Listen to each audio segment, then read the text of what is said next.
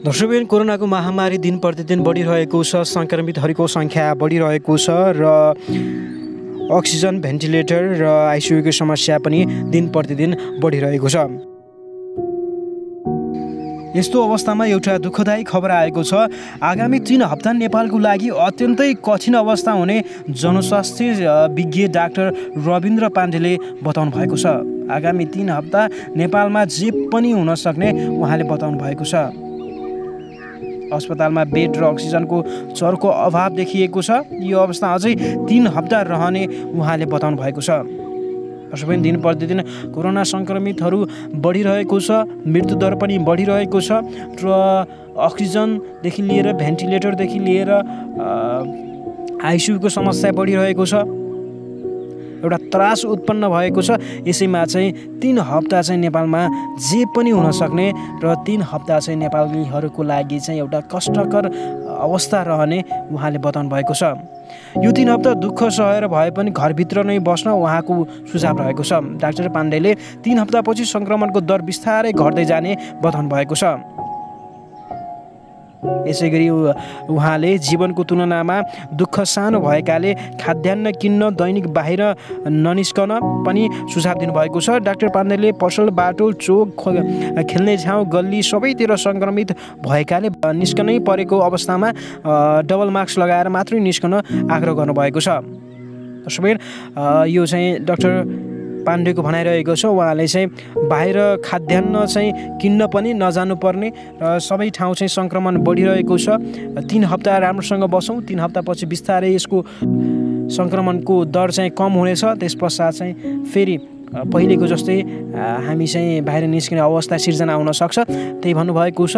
र ज्यानभन्दा ठुलो केही होइन जीवन छ त सबै छ। जीवन आफ्नो बचाउनु पर्छ।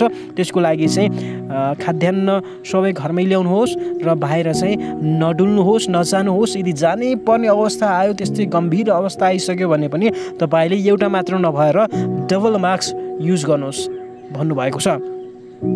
उहाँले भन्नुभयो छ फिटभन्दा धेरै दुरी कायम गर्नुहोस् साबुन पानी सेनिटाइजरको निरन्तर हात सफा गरेर हिँड्नुहोस् भेटघाट बन्द गर्नुहोस् जस्ता स्वास्थ्य सुरक्षाका लागि उपाय अप्नाउनु पर्यो भनेपछि तपाईँको सुरक्षा हुनेछ। उहाँले बताउनु भएको छ यसपटकको कोरोना भाइरसको भाइरसको प्रजातिलाई चाहिँ नजरअन्दाज नगरी सरकारले गरेको कडाइलाई साथ दिँदै सेल्फ लकडाउनमा बस्न पनि उहाँले आग्रह गर्नुभएको छ।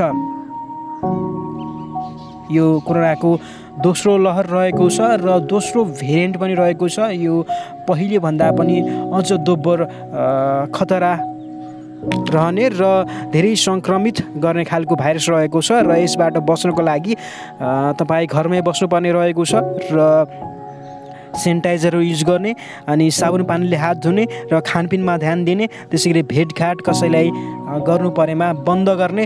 यदि अत्यन्तै जरुरी काम परे बाहिर निस्किनु पऱ्यो भने डबल मास्कको प्रयोग गर्ने उहाँले बताउनु भएको छ।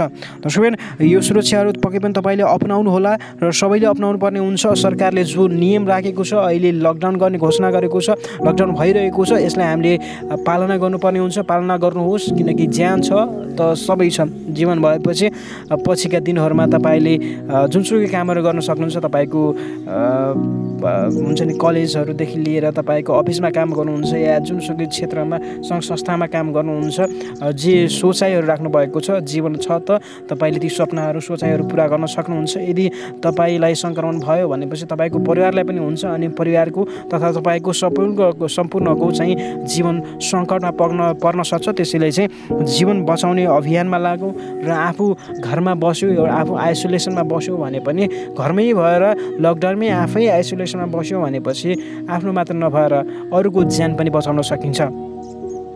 त्यसैले डाक्टर पाण्डेले भनेअनुसारको लकडाउन चलिरहेको छ। यसको हामीले पालना गरौँ र केही हुँदैन भनेर बाहिर ननिस्क्यौँ र घरमै बसेर परिवारसँग समय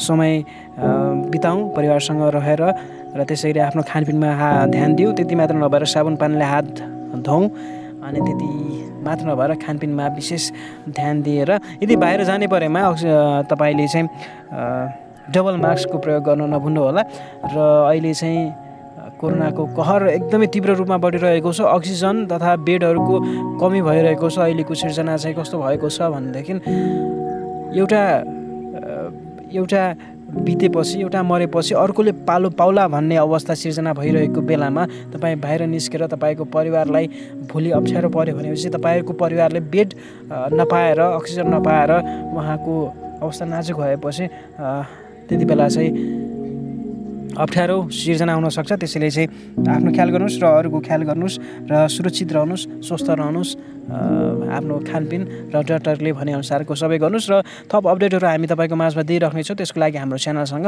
आबद्ध हुन नभुल्नुहोला। त्यसको लागि हाम्रो च्यानललाई सब्सक्राइब गर्नु नभुल्नुहोला।